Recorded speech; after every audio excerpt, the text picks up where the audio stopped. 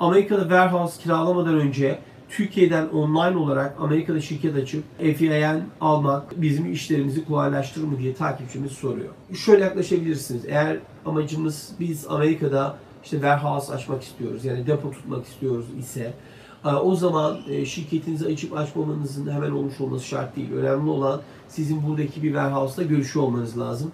Dolayısıyla bir e, deponun sahibiyle de biriyle görüşüp öncelikle orayı kiralayıp kiralamayacağınızı görmeniz gerekiyor. Ve eğer orayı kiralayacaksanız o zaman ondan sonra siz şirket kuruluşunuzu ya da şirketin vergi numarasını almış olmanız yeterli olacaktır. Yoksa öbür türlü bunu almış olmanız şart değil. E, Dolayısıyla e, şirketinizi kurmanız ya da FIA'ni daha önceden almış olmanız çok şart bir durum değil. Önemli olan burada warehouse ya da işte depoyla e, sahibiyle anlaşmayı yapacağınız sırada bu kuruluşların yapılıyor olması en önemlisi olacaktır deyip bu takipçimizin sorusunu cevaplamış olalım.